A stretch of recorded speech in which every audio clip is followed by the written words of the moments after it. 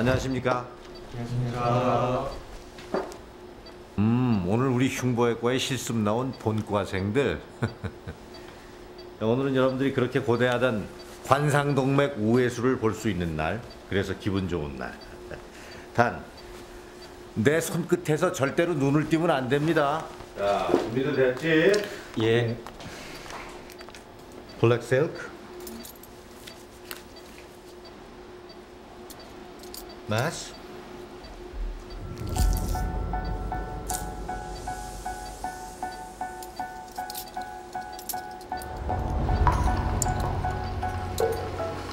잡아당기지 마.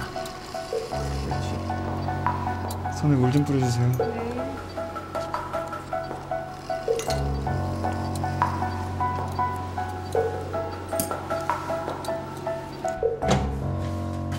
야, 옆방에 최강욱 교수님 미드캡 수술한대. 미드캡? 4cm만 째고 하는 수술? 아, 그거 보자 우리.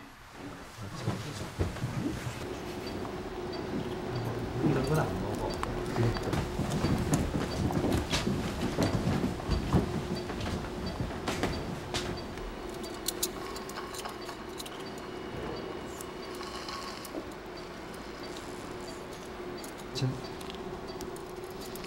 아유. 아이고 뭐야 우인태 어떻게 된 거야? 애들 다 어디 갔어? 아, 그 글쎄, 저 환자 가슴만 보고 있어서. 서큘레이션 어떻게 된 거야? 저기 옆방에 최광국 교수님 미드캡 수술 보러 간 것 같은데요. 뭐? 여 옆방? 이놈 무제 이놈! 이놈들 다 이름 적어라! 다 F야 F! 아니 어떻게 수업을 왔다가 무단으로 이탈을 해 이놈들! 이름 적어라! 아, 교수님, 미드캡 수술을 하려면 어떤 전공증이어야 하나요?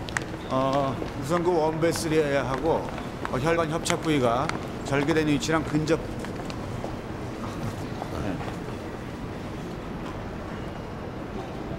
초 과장 인기가 좋으십니다 학생들이 흉부외과 수업 시간이 몇 시간 안 되다 보니까 궁금한 게 많았나 봅니다. 이봐 학생들 수술은 쇼가 아니야. 안정성이 최고야. 가장 정확하게 안정적이어야 하고 최소한 몇 년 동안 생존율이 검증된 수술 방법을 선택해야 돼. 우리 최 과장님이야. 워낙 튀는 것을 좋아하셔가지고 심장 이식 수술도 하시고 그리고 뭐 매스컴으로부터 각광 받는 것을 즐기셔가지고 뭐 오늘 최 과장님 수술이 여러분들 눈에 그냥 확연히 들어왔을지 모르겠습니다만 민 교수님, 말씀이 좀 지나치십니다. 아, 또 하나.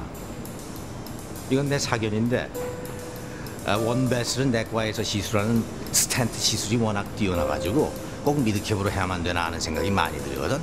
협착 부위가 길어가지고 상처가 걱정되는 젊은 여자들한테는 문제가 되겠지만은 어, 내 생각에는 말이야 아, 시야가 확보되지도 않은 상태에서 썰전들이 말이야 손재주를 자랑하기 위해서 미드캡을 하는 거구나 하는 생각이 들 때가 있단 말이야. 아, 아무튼 여러분들은 배우는 사람들이니까 열심히들 배워요. 배워서 남기나? 조과장 수고하세요.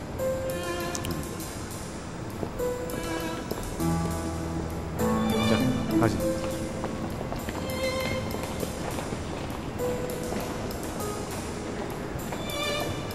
최강국, 난 너의 그 잘난 척이 싫어. 절대 그냥 두지 않겠어.